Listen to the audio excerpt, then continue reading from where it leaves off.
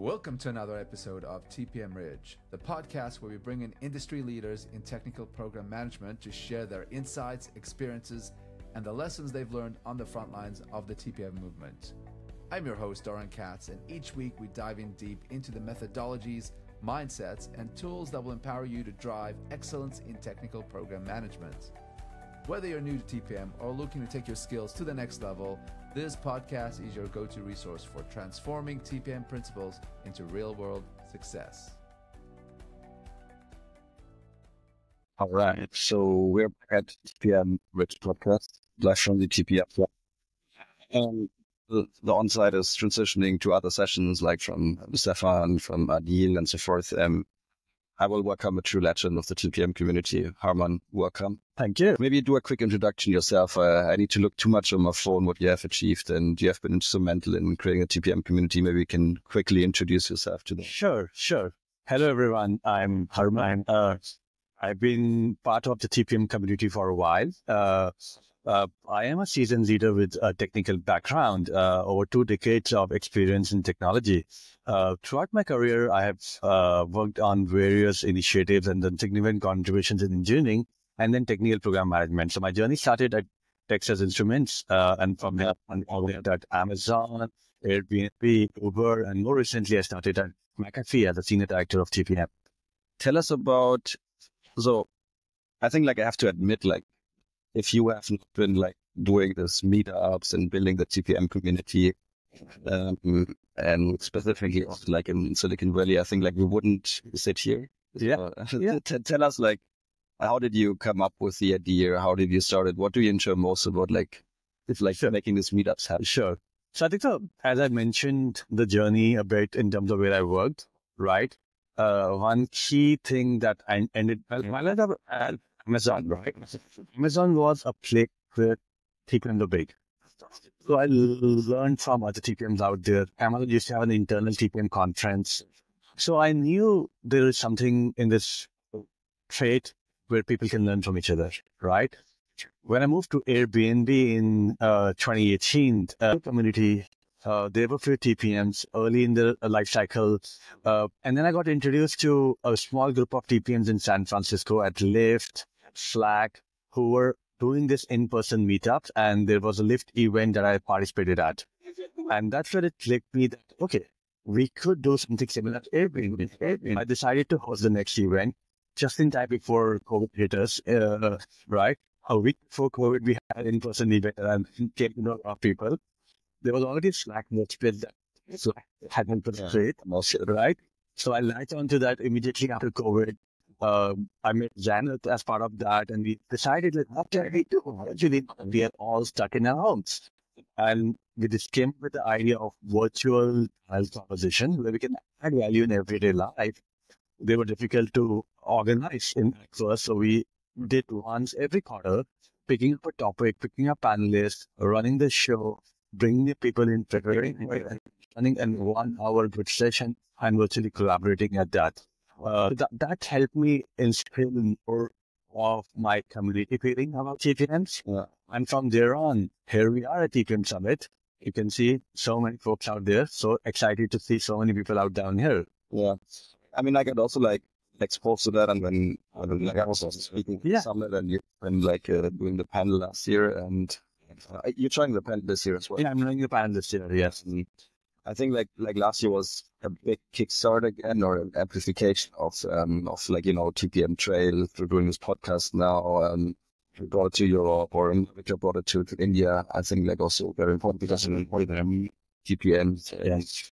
Um, and I think, like, what do you enjoy most about being at TPM when you're organizing meetups?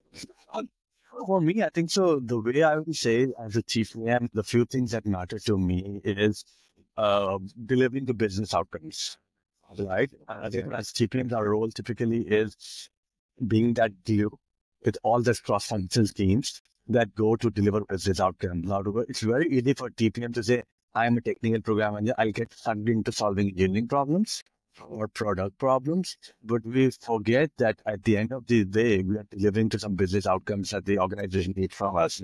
So switching to that and having that strong sense of ownership and accountability really is what I enjoy the most. So I think so for me, and, and, and as it broadens my perspective when I'm delivering to those, it has helped me with my professional and personal growth.